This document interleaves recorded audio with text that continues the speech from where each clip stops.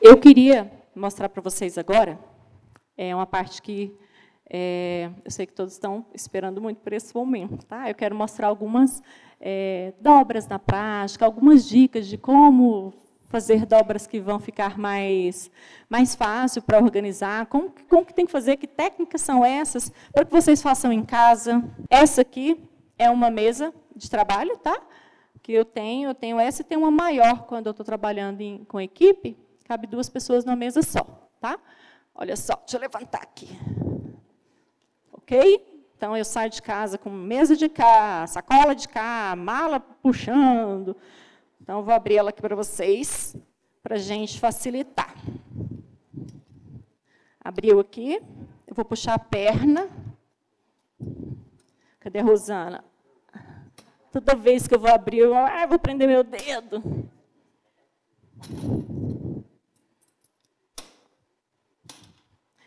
Quem não tiver, claro, uma mesa dessa, ah, eu não vou fazer minha organização, vai.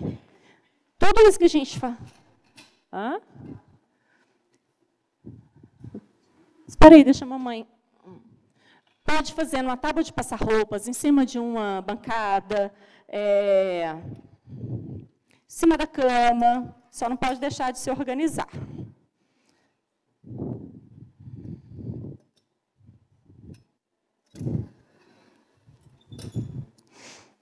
Essa caixa, por favor, filho de cima.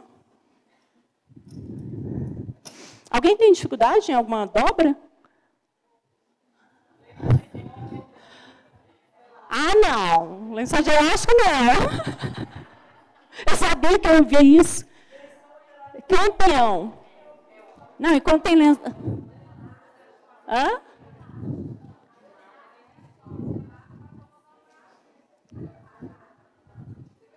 Ele não é fácil. Não, é bom quando a gente pega que só tem na lateral, né? Agora, e quando ele é todo assim, faz...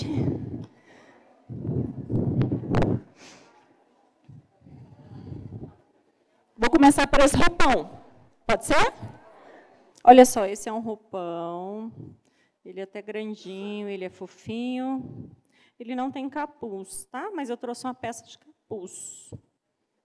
Eu vou dobrar o roupão, gente, com a parte da frente virada para cima. Tá? É uma dobra super simples e que, às vezes, a gente... Né, normalmente é assim, não é?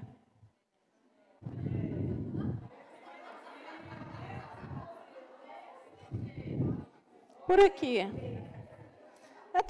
Fica mais ajeitadinho, né? Porque a gente, né? Mas normalmente é assim. Está errado? Não. Sabe o que, que vai manter a organização assim? Bonita. Por exemplo, você conseguir fazer as dobras todas do mesmo tamanho, tá? Não existe dobra certa, dobra errada, existem dobras que são mais práticas, tá bom? Então, assim, normalmente a gente faz exatamente isso, né? Assim, tá bom? Tá ótimo. Aí eu tenho outro roupão de outro tamanho, vai ficar diferente, tá? Então, vou fazer essa dobra aqui para vocês, para que fique uma coisa mais bonita. Eu gosto de tirar o cordão do roupão e colocar a abertura dele para cima, tá? Alinho aqui as costuras. E sempre passando a mão para esticar a peça, ficar bem bonitinha. A outra, alinho aqui também na costura. Eu vou fazer, caso vocês queiram, que eu faça duas vezes, tá bom? Não tem problema. Quem quiser filmar também não tem problema, tudo certo. Então, aqui, eu abri ele direitinho. O que, que eu vou fazer para que todas as minhas peças fiquem do mesmo tamanho? Eu vou usar um gabarito. O que, que é um gabarito? Esse aqui, ele é feito de PVC. Tem gente que não tem Quantas fotos? Eu recebi uma foto esses dias de uma colega. Uma colega que eu conheço só por internet. Débora, não tinha, eu fiz com uma revista. falei, ah, fez. Quando quer fazer, faz, né? Plastifica, tábua de carne. Então, assim, quando a pessoa quer, ela faz. Tá? E hoje em dia também já encontra para vender. Então, eu vou centralizar o meu gabarito aqui no, no, no roupão, e vou fazer aquela dobrinha de camiseta mesmo, tá? Uma parte para cá, tá tudo bem aí? Vocês estão vendo bem? Só vai demorar meia hora, tá? É. Dobrei aqui, igual camiseta mesmo. Aqui eu gosto de deixar um pouquinho é, para dentro, um dedinho para dentro, tá? O outro lado, a mesma coisa, é o gabarito que vai manter minhas peças do mesmo tamanho. E você vai escolher e determinar que tamanho você quer a sua dobra. Vai depender do lugar que você vai, do espaço que você vai colocar, tá bom? Olha aqui, tirei o gabarito, eu usei essa medida aqui. Eu poderia ter usado ele assim. Tudo bem? Então, vai depender do seu espaço, do espaço que você tem. Tirei o gabarito, aqui também vai depender do espaço que você tem. Eu vou ter, determinar, vou observar a profundidade do local que eu vou querer guardar, tá bom? Eu posso fazer somente em três vezes, dobro esse para cá e esse para cá, que eu acho que é um tamanho bacana, e vou colocar ele no meu armário dessa forma. Vou pegar o cordão e vou envolver. Cada tem cordões também de vários tamanhos. Eu vou apertar aqui um pouquinho, não tem problema que depois eu ajeito com a mão. Olha só, e aqui eu vou deixar um lacinho. Nossa, as pessoas adoram isso aqui, olha. Então, aqui ficou enrugadinho. Eu venho aqui ó, e faço assim com a mão para não ficar amassado, tá? E vai ficar um pacotinho. E você vai deixar organizado assim, o roupão. Tá? Então, fica super prático essa parte para frente. E se você tiver um espaço que tenha profundidade menor ou maior, você vai é, determinando isso, dependendo do seu espaço. Eu tenho esse outro roupão aqui, que é um outro modelo. Ele tem esse cordão aqui preso, olha. Certo? É o mesmo processo. Vou colocar esse aqui. É o mesmo processo. Vou abrir meu roupão, deixo o cordãozinho aí. Outro lado, a mesma coisa. E isso aqui, gente, é quando for fazer a, passação da roupa mesmo. Tá? Centralizei o gabarito. Mesmo processo, dobrei para o lado, só que o cordão ele está aqui, gente, não tem como. Vou deixar esse cordão aí. Essa manguinha ela pode ser tanto assim, como assim. Isso aqui não vai alterar, não tem problema. O outro lado pode ser assim, ou pode ser dessa forma aqui. Certo? Agora eu vou tirar e fazer uma dobra para cá, outra para cá, e eu venho com o lacinho aqui em cima mesmo. Ó. Ele vai ficar preso, ele não vai ficar todo envolto, até porque esse cordão aqui ele é um cordão pequeno, porque senão eu poderia alcançar aqui, tá bom? Mas eu não vou conseguir com esse cordão aqui. Então, eu vou vir aqui, apenas abrir. Tá? E vai ficar dessa forma assim. Aqui ficou mais fino. Certo? Ele vai ficar preso até aqui, tá vendo? Ele fica preso, não tem problema não. Você vai colocar um roupão em cima do outro. Certo? Querem que eu repita alguma, a dobra de algum dos roupões? Não precisa, né? Essa pizza aqui é um forro de mesa redondo tá? Normalmente a gente faz aquela pizza, tal. Então, como que eu vou fazer com esse forro? Abrir ele totalmente. E claro, gente, que nós temos que observar muito o espaço da nossa casa. Aonde que eu vou acomodar? Abri ele aqui. Dobrei ao meio somente. Esse aqui é mais simples, não é? Dobrei ao meio novamente. Ficou assim, certo? Agora eu vou pegar uma ponta só e dobrar ela para cá. Aqui você vai determinar o tamanho que você quer. Eu posso dobrar ele assim e assim. Eu posso dobrar ele aqui em três, olha. Vai depender do seu espaço.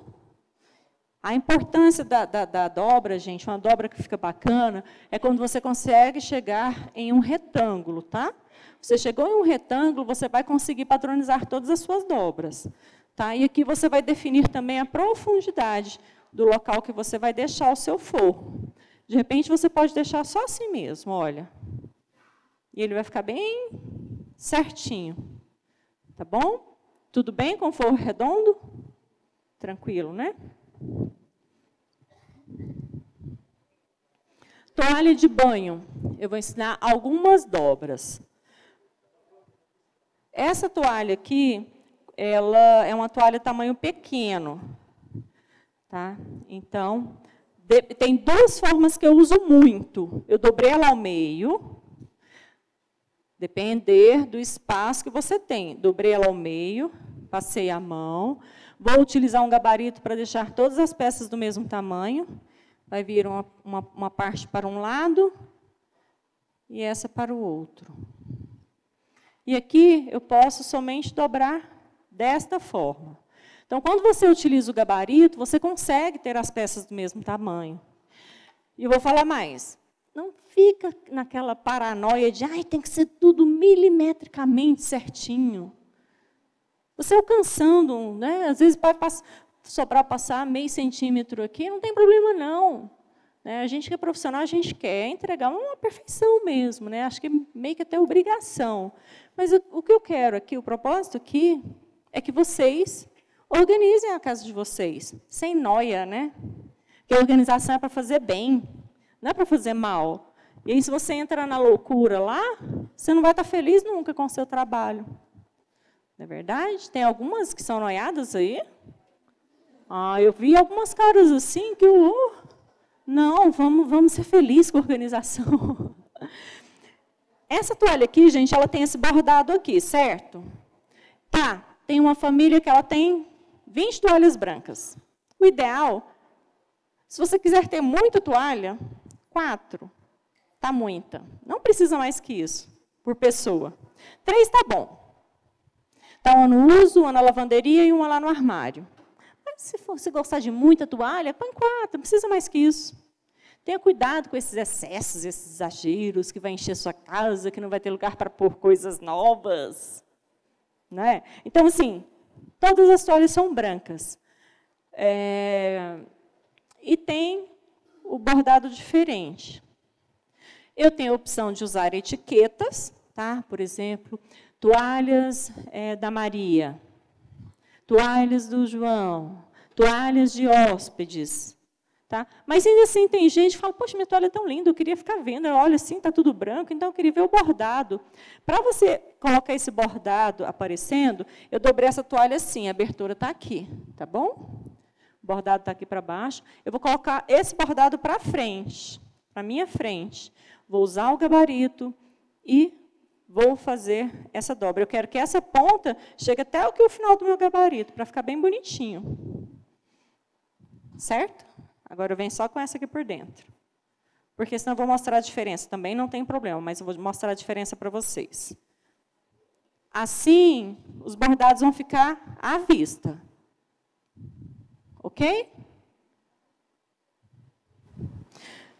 Só que aqui, como eu, eu, pus uma dobrinha pequena, corre o risco de sempre ficar um pouquinho mais altinho aqui, com noia, tá? Vai ficar um pouquinho mais altinho. Agora, a, é, a pilha vai ser dessa altura, aí você vai perceber, né? Mas se você colocar quatro toalhas, está tudo bem. Porque se você fizer assim,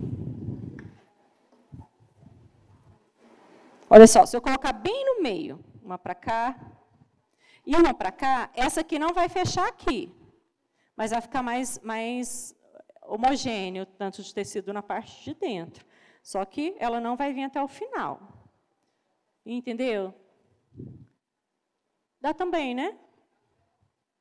E aí, se for com paranoia, organização, assim vai ficar mais homogêneo o tecido lá dentro. Tá bom? Mas dá para você ver o bordado. A intenção dessa dobra é o quê? Ver o bordado. Certo?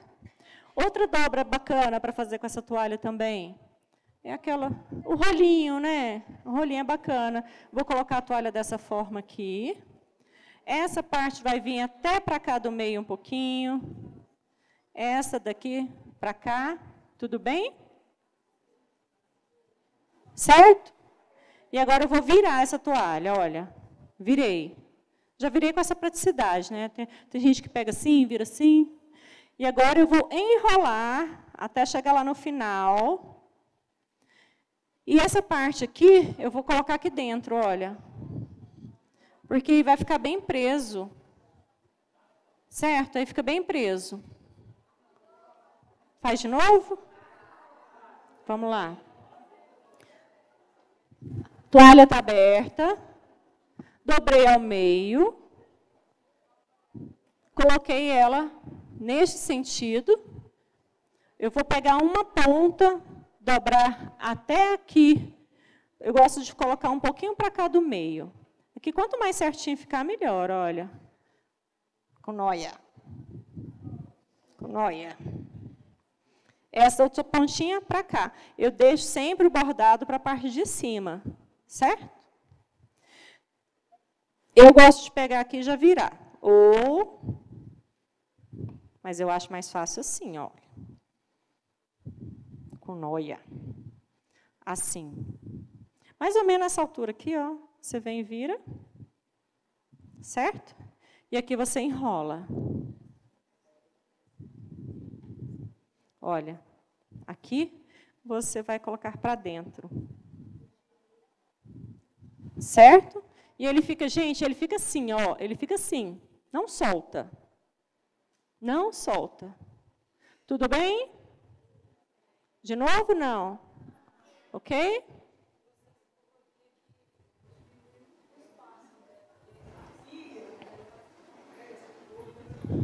É, é, você pode, assim, eu acho bem bacana para usar, sabe, deixa deixar no banheiro. Às vezes tem um espacinho no banheiro, você deixar assim é bem bacana.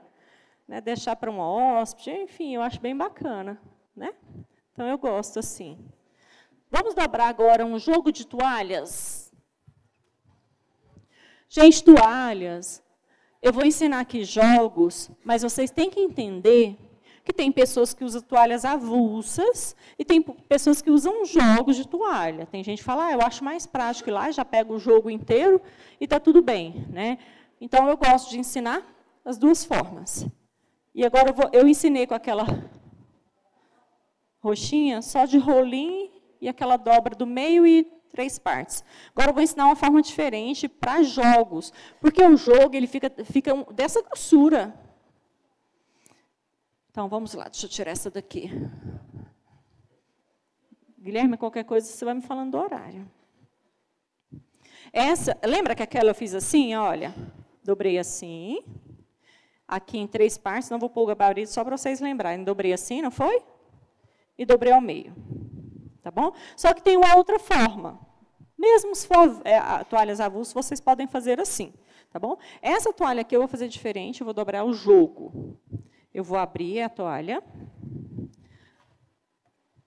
Centralizei o gabarito, pode ser dessa forma. Jogos, normalmente, eles ficam grossos. Quanto mais estreita a minha dobra, mais grossa ela tende a ficar.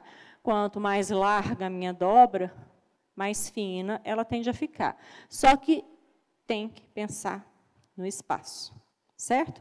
Eu vou fazer assim agora para vocês perceberem. Depois eu vou colocar a outra aqui do lado. Vou fazer a primeira dobra. Passou a toalha, já vem fazendo a dobra, gente. É hábito. A segunda dobra. Agora aqui eu já venho com a outra toalha. E eu já vou tirar a medida por essa aqui de baixo, olha.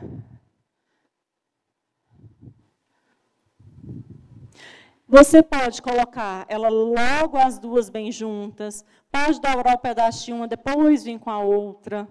Só que quando eu faço dessa forma, elas não soltam uma da outra, tá bom? Então, eu venho, faço essa dobra. Sempre gosto de deixar um pouquinho um pouquinho para dentro aqui, pouquinho, gente. Do outro lado, eu acompanho o tamanho da outra.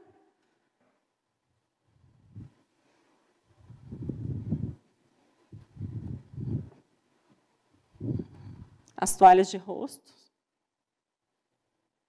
Se eu consigo pôr ela desse tamanho aqui, não preciso ficar fazendo três dobras. Tá? Só colocar ela aqui dentro. Deixa um pouquinho abaixo aqui dessa parte.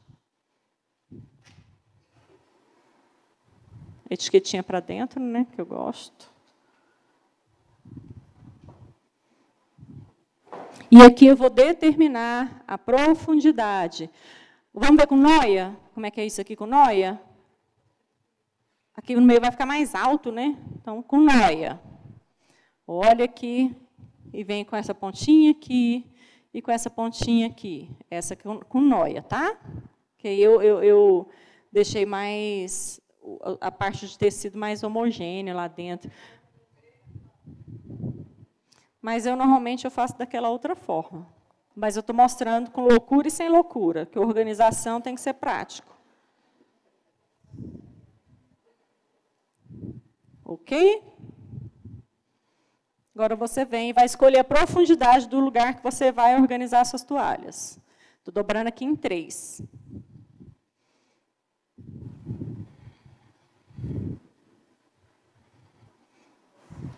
E o jogo está feito. Ela fica toda presinha.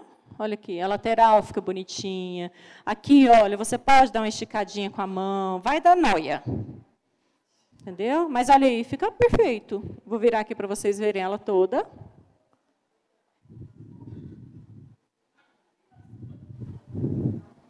Certo? Ah, é com essa aqui que eu queria fazer aquela demonstração para aparecer o. Isso.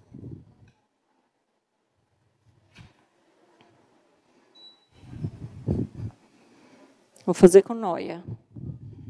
Aí, ó, noia deu o meio certinho. Mas porque eu coloquei o gabarito maior, tá? Então fica assim, aí você consegue visualizar. Tá bordado, tudo direitinho. Ok? Agora vamos pegar essa criatura aqui, né? Ai. Lá em casa é assim? É. Como, como, que como é que vocês sabem que isso aqui é isso aqui?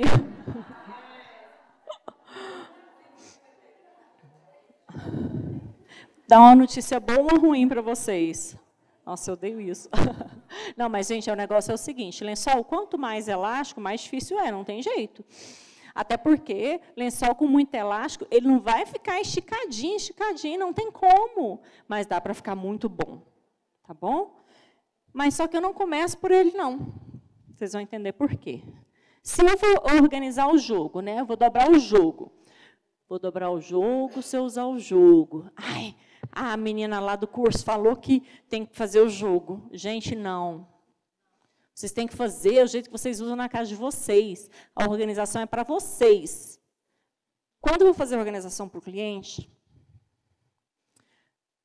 você usa é, pijama é jogo ou sozinho? Só, homem usa muito só cueca.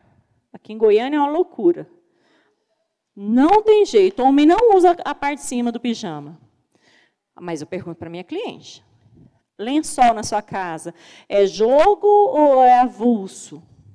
Se ela fala, eu uso jogo, eu faço jogo. Se ela falar, é avulso, eu faço avulso. Quando ela fala, eu uso jogo, eu falei, cadê os jogos? Está tudo avulso aqui. Não entendi, né? Aí vai eu lá procurar, né? Fazer Exatamente. Vamos, vamos, brincar um pouquinho. Vamos, aí vai, vai fazer. É, é, esse lençol. É, aí, olha, etiqueta. Para achar a fronha, a fronha é mais difícil, né?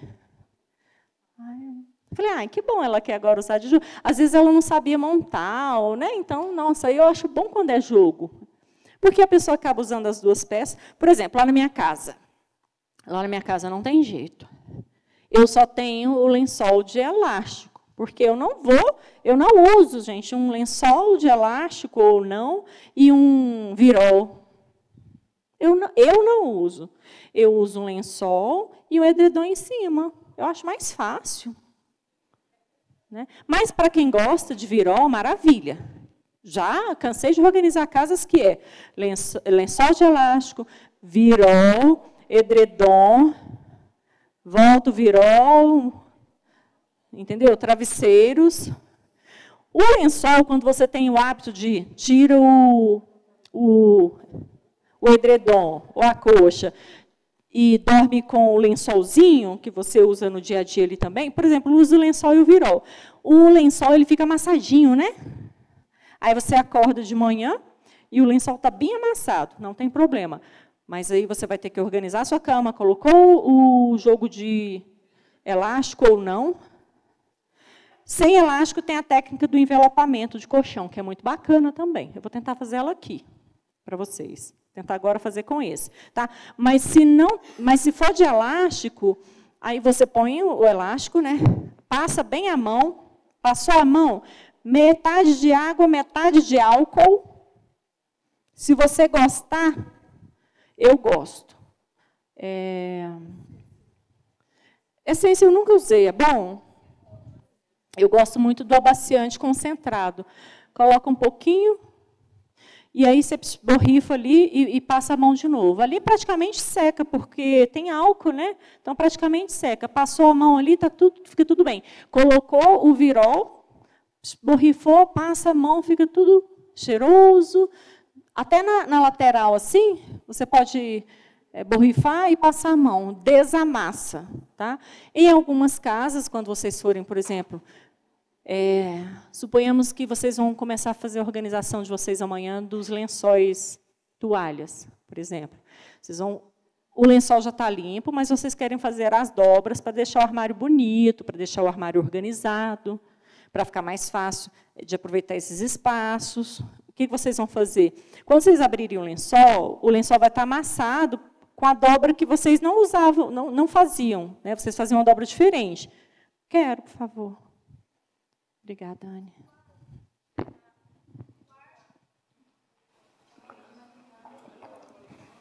Anne, obrigada. Eu tinha deixado a minha e esqueci. Obrigada.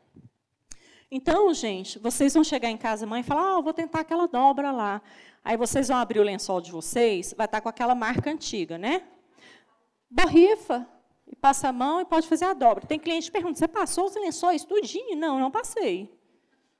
Então, ajuda, isso ajuda muito, tá? Eu vou tentar ensinar aqui nessa mesa o envelopamento, que é o lençol que não tem elástico. Vocês gostam com elástico ou sem? Tem duas, tem uma vantagem e uma desvantagem, né? Com elástico não sai, né? Mas é difícil de dobrar, né? até conhecer a técnica. Né? E, mas o envelopamento, se for aquele colchão, dependendo do tamanho do seu lençol, também não sai, é bacana. O envelopamento é mais ou menos isso aqui. Eu vou tentar fazer aqui, né?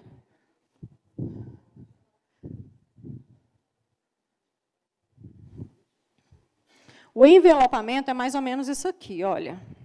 Sua cama está aqui, é, e, e pronto forrou a cama. Você vai vir aqui, eu vou até puxar para cá para vocês entenderem melhor. Vocês vão vir aqui, aqui é o colchão, forrou a cama. Você vai vir aqui, essa parte você vai puxar até para cá, e aqui você já levanta o colchão e põe essa parte para dentro.